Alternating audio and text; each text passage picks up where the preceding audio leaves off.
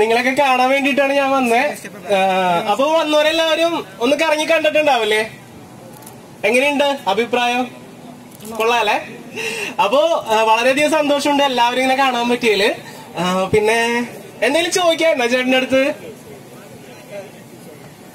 ആർക്കെങ്കിലും എന്തെങ്കിലും ഡൗട്ടോ കാര്യങ്ങളോ എന്തെങ്കിലും സംശയിക്കുന്ന ചോദിച്ചോളൂ. ക്വാളിറ്റി വരില്ല. അപ്പൊ നമ്മൾ ശ്രദ്ധിക്കേണ്ട ഒരു കാര്യം എന്ന് പറയുമ്പോൾ നമ്മുടെ സൗണ്ട് പരമാവധി ഒച്ചത്തിൽ സംസാരിക്കാം. ഇപ്പൊ ഞാൻ ഈ മൈക്കില്ലാണ്ട് സംസാരിക്കുമ്പോൾ തന്നെ ഇവിടെ ഉള്ള എല്ലാവർക്കും കേൾക്കുന്നില്ലേ? ഒരാൾക്കും മിസ്സിംഗ് വരുന്നില്ല. അപ്പൊ നമ്മുടെ പിച്ച് മാക്സിമം ആക്കിയിട്ട് സംസാരിച്ചു കഴിഞ്ഞിട്ടുണ്ടെങ്കിൽ ഈ പറഞ്ഞ കാര്യം അതായത് ബാക്ക്ഗ്രൗണ്ട് നോയിസ് വരുന്ന കാര്യം നമുക്ക് പൈസ ചെലവില്ലാതെ ശരിയാക്കാം. പിന്നെ വരുന്ന ഞാൻ ചോദിച്ചേ നമ്മുടെ സൗണ്ട് ക്ലൗഡിലെ ബാക്ക്ഗ്രൗണ്ട് സൗണ്ട്സ് ഉണ്ടല്ലോ മീൻസ് കോപ്പിറൈറ്റഡ് കോപ്പിറൈറ്റ് അല്ലാതെ നമുക്ക് കുറച്ച് സൗണ്ട് ക്ലൗഡിൽ നിന്ന് നമുക്ക് കുറെ തീം സോങ് ബാക്ക്ഗ്രൗണ്ടിൽ ഇടാൻ പറ്റുന്ന ടൈപ്പ് ഓക്കെ യൂട്യൂബ് ഒരിക്കലും ഇങ്ങനത്തെ എക്സ്റ്റേണൽ സോഴ്സുകൾ സപ്പോർട്ട് ചെയ്യുന്നില്ല. യൂട്യൂബിന്റെ സ്റ്റുഡിയോ തന്നെ നമുക്ക് കുറച്ച് മ്യൂസിക്കുകൾ തരുന്നുണ്ട്.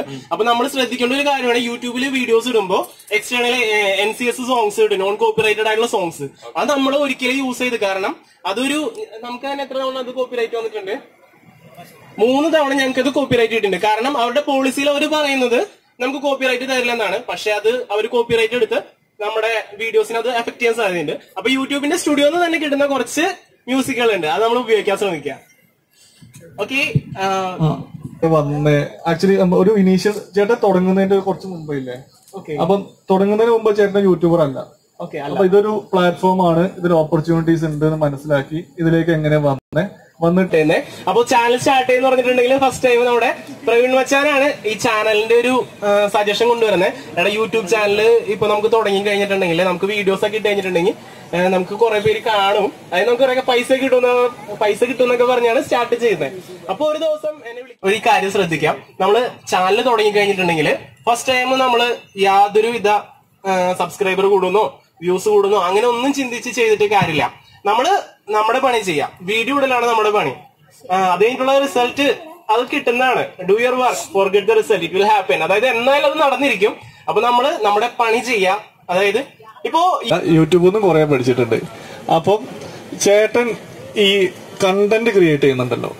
അപ്പം ഇപ്പൊ ഞാൻ ഞങ്ങളൊക്കെ ഭയങ്കര എന്താ വെച്ചാ നമുക്ക് വേണ്ട കണ്ടന്റ് കറക്റ്റ് ക്യൂറേറ്റ് ചെയ്ത് കിട്ടുന്നുണ്ട്. അപ്പൊ ഈ കണ്ടന്റ് എങ്ങനെ ഫൈൻഡ് ചെയ്യുന്നത് എന്നിട്ട് ഇത്ര കണ്ടന്റ് മതി. ഇതാണ് അതിന്റെ ഇത് എന്നുള്ളതൊക്കെ ഇത്ര നമുക്ക് കൊടുക്കാം. ഇത്ര പാറ്റേൺ ഡിസൈൻ ചെയ്യാം. അങ്ങനെ കണ്ടന്റ് എവിടുന്നാണ് എടുക്കുന്നത്? അപ്പം ഈ കണ്ടന്റ് ഇന്നത് മതി എങ്ങനെ ഡിസൈഡ് ചെയ്യുന്നത്? ഇതിന്റെ പാറ്റേണും കാര്യങ്ങളൊക്കെ. ഓക്കെ നമ്മൾ കണ്ടന്റ് എടുക്കുന്നത് മെയിൻ ആയിട്ട് ആദ്യം നോക്കുന്ന ഒരു കാര്യം എന്ന് വെച്ചിട്ടുണ്ടെങ്കിൽ ഓഡിയൻസും ഓഡിയൻസ് എന്ന് പറഞ്ഞിട്ടുണ്ടെങ്കിൽ കൊച്ചു കുട്ടികളും അതിൽ വലിയവര് വരെയുണ്ട്. അപ്പോ എല്ലാവർക്കും മനസ്സിലാവുന്ന രീതിയിലുള്ള ഒരു കണ്ടന്റ് ആയിരിക്കും എടുക്കേണ്ടത്. കാരണം എല്ലാവരും നമ്മുടെ വീഡിയോസ് കാണുന്നവരാണ്. അപ്പൊ എല്ലാവർക്കും കിട്ടുന്ന രീതിയിലാണ്. അതാണ് ഏറ്റവും ആദ്യം നോക്കുന്ന കാര്യം. പിന്നെ മാക്സിമം സിമ്പിൾ ആയിട്ട് അത് ഇവരിലേക്ക് പ്രസന്റ് ചെയ്യാനായിട്ട്. ഇപ്പോ ചേട്ടന്റെ വീഡിയോ കാണുമ്പോൾ എല്ലാവർക്കും പെട്ടെന്ന് മനസ്സിലാവാറില്ലേ? കാരണം അത്രയ്ക്ക് സിമ്പിൾ ആയിട്ട് അവർക്ക് മനസ്സിലാവുന്ന രീതിയിലാണ് വീഡിയോ ചെയ്യാൻ ശ്രമിക്കാറ്. പിന്നെ എടുക്കുന്ന കണ്ടന്റ് എന്ന് പറഞ്ഞാൽ സിമ്പിൾ കണ്ടന്റ്സ് എടുക്കുകയുള്ളൂ. ഇപ്പോ ഹെവി ആയിട്ടുള്ള നമ്മളൊരു കണ്ടന്റ് എടുത്തു കഴിഞ്ഞിട്ടുണ്ടെങ്കിൽ തുടക്കക്കാർക്കാണെങ്കിൽ ഒന്നും അതിന്ന് മനസ്സിലാവില്ല. ഇപ്പോ പിന്നെ എന്റെ നോളജിനനുസരിച്ചുള്ള വീഡിയോസേ ഞാൻ ചെയ്യാറുള്ളൂ. കാരണം എന്റെ പരിമിതികൾ എനിക്കറിയാം. ഇത്രേ എനിക്ക് ചെയ്യാൻ പറ്റുള്ളൂ. പക്ഷെ അതിന് ഞാൻ ബ്രേക്ക് ചെയ്യാൻ ശ്രമിക്കാറുണ്ട്. കൂടുതലായിട്ട് എഫേർട്ട് എടുത്ത് ഞാൻ ഇപ്പോ എക്സാമ്പിൾ പറയുകയാണെങ്കിൽ ഒരു സ്കേറ്റ് ബോർഡിന്റെ വീഡിയോ ഞാൻ ചെയ്തായിരുന്നു. അത് ആരെങ്കിലും കണ്ടിട്ടുണ്ടോ? ഓക്കെ എനിക്ക് സ്കേറ്റ് ബോർഡ് ഡ്രൈവ് ചെയ്യാൻ അറിയില്ല. സ്കേറ്റ് ചെയ്യാൻ അറിയില്ല. അപ്പോ ഇല്ല. ഇതിന് വേണ്ടിയിട്ട് ഞാൻ മൂന്ന് ദിവസം ഫുൾ നൈറ്റ് റൈഡ് ചെയ്ത് പഠിച്ചതാണ്. ഒരു ഒരു വലിയ കൈയടി കൊടുക്കാം കേട്ടോ. ഒരു ഫുൾ മൂന്ന് ദിവസം നൈറ്റ് ഞാൻ ഫുള്ള് പ്രാക്ടീസ് ചെയ്തിട്ടാണ് എനിക്ക് സ്കേറ്റ് ബോർഡിൽ കയറി ഒന്ന് ഇന്ന് ഓടിക്കാൻ പറ്റിയത്. നമ്മൾ ചെയ്യുന്ന വർക്കിന് അതായത് നമ്മൾക്ക് ഇപ്പൊ പറ്റില്ല എന്ന് വിചാരിച്ചിരിക്കുന്ന കാര്യങ്ങൾ നമ്മൾ ഒന്നും കൂടി ശ്രമിച്ചു കഴിഞ്ഞിട്ടുണ്ടെങ്കിൽ പറ്റും. കാരണം ഒരുപാട് കാര്യങ്ങൾ നമ്മൾ അങ്ങനെ ചെയ്ത് കഴിഞ്ഞാൽ ശരിയാവും. ടി സീരീസ് ആ ഒരു കമ്പനിയാണ് അവർ ഇപ്പോൾ ഇപ്പൊ യൂട്യൂബിലത്തെ നമ്പർ വൺ സബ്സ്ക്രൈബ് ചാനലുമാണ് ആണ്. പക്ഷെ അതേപോലെ പ്യൂഡിഫൈ ഒരു ഇൻഡിവിജ്വൽ ക്രിയേറ്ററാണ് അതിന്റെ അതിന്റെ ഒരുപാട് റൂമേഴ്സ് ഉണ്ട്. അപ്പോൾ ഇൻഡിവിജ്വൽ ക്രിയേറ്റേഴ്സിനെ കമ്പനീസ് എഫക്ട് ചെയ്യുന്നുണ്ടെന്ന് ചേട്ടന് തോന്നുന്നുണ്ടോ? ഓക്കെ നല്ലൊരു ക്വസ്റ്റ്യൻ ആണത് പക്ഷേ നമ്മുടെ കേരളത്തിൽ അങ്ങനെ ഒരു സെറ്റപ്പ് ഇതുവരെ വന്നിട്ടില്ല. കാരണം കേരളത്തിൽ യൂട്യൂബ് ഇപ്പോ ഗ്രോ ചെയ്ത് തുടങ്ങിയിട്ടേ ഉള്ളൂ. അറ്റ് ദ പീക്കിൽ എത്തിയിട്ടില്ല ഒരിക്കലും. അങ്ങനത്തെ ആ ഒരു ടൈമിലാണ് കോമ്പറ്റീഷൻ വരുമ്പോൾ ഇങ്ങനത്തെ ഒരു ക്വസ്റ്റ്യൻ നമുക്ക് ആവശ്യമുള്ളൂ.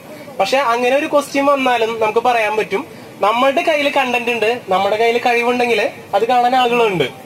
മീൻസ് ഇപ്പൊ ഒരു ടീം ഇപ്പൊ കരിക്കെന്ന് പറഞ്ഞാൽ നല്ലൊരു ടീമാണ് ഏറ്റവും നല്ല ക്വാളിറ്റി വീഡിയോസ് തരുന്നവരാണ്. പക്ഷെ നമുക്ക് വേണ്ട എല്ലാം അവർക്ക് തരാൻ പറ്റുന്ന പറ്റണമെന്നില്ല.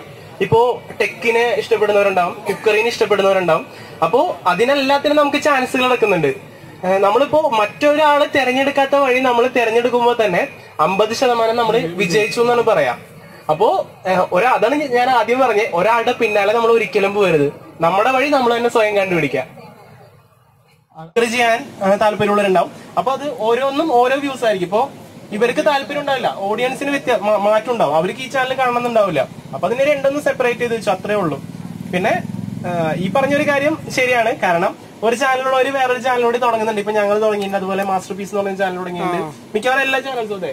ട്രോൾ വീഡിയോസ് ഇടുന്ന ചാനലുകൾ വരെ സെക്കൻഡറി ഒരു ചാനൽ സ്റ്റാർട്ട് ചെയ്ത് വെച്ചിട്ടുണ്ട്. കാരണം ഇതിനൊന്നും ഒരു യാതൊരു നമുക്കൊരു പെർമനന്റ് ജോബ് ആയിട്ട് അവർ തന്നിരിക്കുന്നതല്ല. നമ്മളൊരു പാഷന്റെ പുറത്ത് വീഡിയോസ് ഇടുന്നു. അതിൽ അവർ ആഡ് ചെയ് ആഡ് കൊണ്ടുവന്നിട്ട് നമുക്ക് അതിൽ നിന്ന് പൈസ തരുന്നു. അത്രേ ഉള്ളൂ. ഇതൊരു പെർമനന്റ് ജോബ് എന്ന് നമുക്ക് പറയാൻ പറ്റില്ല. ഇത് അങ്ങനെ ചെയ്യുന്നവരുണ്ട്. ഒരു പാഷനും ജോബായിട്ട് ചെയ്യുന്നവരുണ്ട്. വെച്ചാൽ ഇപ്പൊ ഒരാളെന്നെ രണ്ട് മൂന്ന് ചാനൽ തുടങ്ങുകയാണെങ്കിൽ അപ്പം രണ്ട് മൂന്ന് ചാനൽ ക്ലിക്കായി ഇപ്പൊ നല്ല സബ്സ്ക്രൈബേഴ്സ് ഉണ്ട് എല്ലാം ഓക്കെ ആണ്. അപ്പം അവർക്ക് ഇപ്പൊ നമ്മൾ കാണുന്നുണ്ട് ഈ പ്ലേ ബട്ടൺ കിട്ടുന്നില്ലേ? അപ്പൊ ഗോൾഡ് അങ്ങനത്തെ ബട്ടൺ ഒക്കെ കിട്ടുമ്പോ അവർക്ക് മൂന്ന് ചാനലിലും അങ്ങനെ കിട്ടുമോ ഒരാൾക്ക് തന്നെ? കിട്ടും കിട്ടും. ഇപ്പോ യൂട്യൂബിന്റെ ഒരു ടേംസ് വെച്ചിട്ട് ആദ്യത്തെ ഒരു ലക്ഷം എത്തുന്ന ചാനലിനാണ് ഒരു ലക്ഷം എത്തിക്കഴിയുമ്പോഴാണ് സിൽവർ പ്ലേ ബട്ടൺ കിട്ടുക. അതുപോലെ തന്നെ അത് കഴിഞ്ഞ് പത്ത് ലക്ഷം വൺ മില്യൺ ഫോളോവേഴ്സ് ആകുമ്പോഴാണ് നമുക്ക് ഗോൾഡ് പ്ലേ ബട്ടൺ കിട്ടുന്നത്. പക്ഷെ സിൽവർ പ്ലേ ബട്ടൺ കിട്ടുന്ന പോലെ അത്ര എളുപ്പമുള്ള നമുക്ക് ഗോൾഡ് കിട്ടാനായിട്ട്. സബ്സ്ക്രൈബർ ആയാലും നമ്മുടെ ചാനലിൽ ഇടുന്ന കണ്ടന്റിന്റെ ക്വാളിറ്റിനെ ഡിപെൻഡ് ചെയ്തിരിക്കും ഗോൾഡ് കിട്ടുന്നത്. അത് കഴിഞ്ഞ് പിന്നെ വൺസ് ഇയർ ആകുമ്പോ അല്ലേ? ഡയമണ്ട് ഡയമണ്ട് അത് ഇതുവരെ കേരളത്തിൽ ആർക്കും കിട്ടിയിട്ടില്ല. ശ്രമിക്കാം. ഓക്കെ അപ്പോ ഇതാണ് വരുന്നത്. ക്വാളിറ്റീനെ ഡിപെൻഡ് ചെയ്തിരിക്കും. ഈ ഗോൾഡ് കിട്ടാനായിട്ട്. സിൽവർ എന്ന് പറഞ്ഞിട്ടുണ്ടെങ്കിൽ ആർക്ക് വേണേലും കിട്ടും വൺ ലാക്ക് കഴിഞ്ഞവർക്ക് സിൽവർ പ്ലേ ബട്ടൺ ഈ യൂട്യൂബ് സ്റ്റാർട്ട് ചെയ്യുന്ന സമയത്ത് കുറെ സ്ട്രഗിൾ ഒക്കെ കഴിഞ്ഞിട്ടാണ്. ഇപ്പൊ ഐ മീൻസ് ഈ വീഡിയോ ഇട്ട് തുടങ്ങിയത് കുറെ സ്ട്രഗിൾ ഒക്കെ കഴിഞ്ഞിട്ടാണ് വന്നത്.